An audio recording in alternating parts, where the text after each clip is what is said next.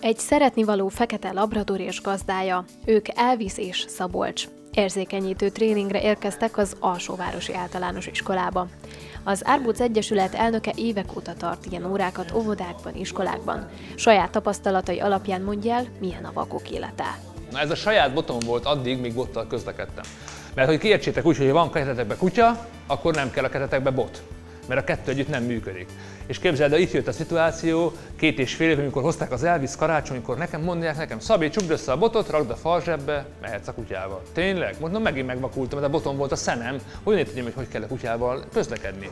Itt jön az a képbe, hogy három hónap egy összeszokás, és egyáltalán mentálisan a fejben át kell állni. Én ezt úgy nevezem, hogy mentális térkép, ahogy közlekedsz a kutyával, vagy éppen a bottal. Szabolcs azt is megmutatta, hogyan kell használni a vakvezető botot. Kétféle technika létezik. Az egyik az ingázás, amit ismert helyen vagy egyenes szakaszon alkalmaznak, a másik pedig a rossz talajon használatos pásztázás. A bátrabbak szemüket letakarva próbálták ki. Érezni fogod az ajtót, mikor koppan. Ne a homlokot koppanjon a bot vége. Ah, valami jó. És van egy kilincs kira.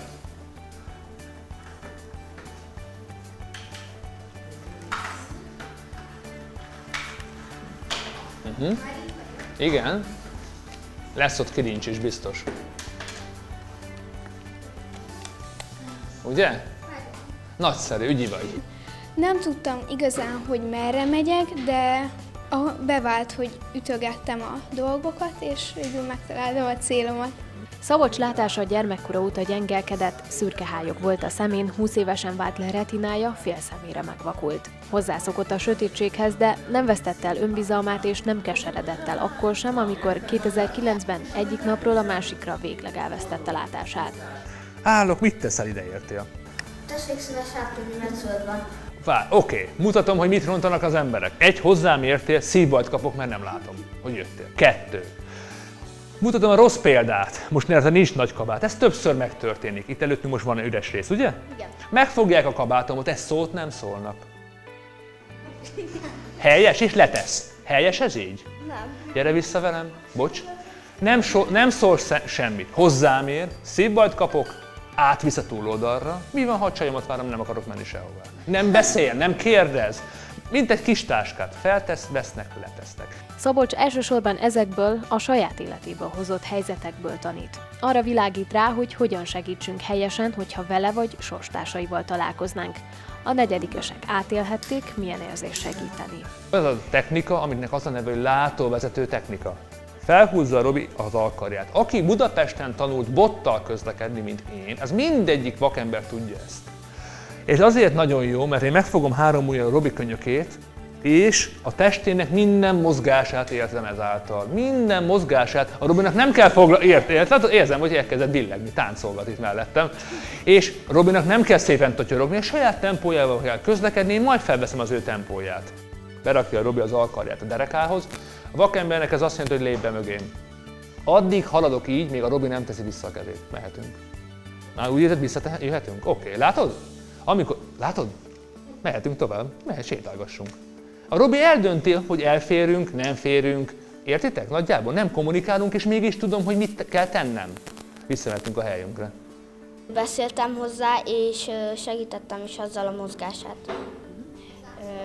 Mit tudtál meg a vakemberekről, még így az életükről, az ő mindennapjaikról? Hogy ők nem annyira elkeseredtek azért, mert vakok, de szerintem nagyon jó az életük is. Tiszta fehér lap a lelkük, és, és annyira őszinték, és annyira, amikor még soha nem találkoztam velük, és valami, valami egyáltalán nem fagynak le, és ez és 8 korosztály is, ahol már kamaszodnak is, ott is nagyon-nagyon is. Valamikor alig tudok mutatni bármit is, mert egyfolytában kérdeznek. Valamikor egy kicsit merevek, zavarba vannak, akkor meg poénokkal próbálom őket oldani egy kicsit, és akkor a végére sikerül, vagy volt olyan, hogy őket ezt nem érdekli, volt már azért persze ilyen tapasztalat is, de akkor, akkor átbillentem úgyis őket. És akkor a végén, jaj, már vége van, mikor lesz legközelebb? A vakok élete nem könnyű, minden megváltozott Szabolcs életében is, amikor elvesztette szemevilágát. Még az olvasást is újra kellett tanulnia, az úgynevezett breírást is megmutatta. De azt sem titkolta, honnan tudja, meddig kell vizet tölteni a pohárba. Aha! Látod? És nem folyt ki. Ez egy, egy kimondott látásra kitalált kis eszköz, szintjelző névre hallgat. A sok érdekesség után jöhetett az úra legizgalmasabb része, a várva várt Elvis. Ő parancsokat ért, ő, és ő nem, ő nem a simi kategória. Ő nem a babus, babusgatós kutyus. És azért faragtam ide a kajázsákocskát, mert hogy mindig imád enni, és amit megtesz, az minden kajáért. Ez nem azt jelenti, hogy sétálok vele és egyfolyta betetem, de azért ösztönözni kell néha, hogy azért így képezték ki. Elvis előbb 8 hónapig egy családnál élt, ahol játszottak vele, tanítgatták, majd újabb 8 hónapon át képezték ki vakvezető kutyává. Ért minden parancsot, amit Szabolcs mond neki. Áll. Na mehetünk Elvis előre, menjünk el balra, balra, újra ba- balra Elvis, előre. Van-e itt ajtó? Ajtóhoz? Hát nyilván van. Kilincs is van az ajtón? Van ám, oké. Okay. Az iskolások rendkívül élvezték az órát, játszva tanultak, és Szabolcs sem kötelességnek, hanem élménynek fogta fel.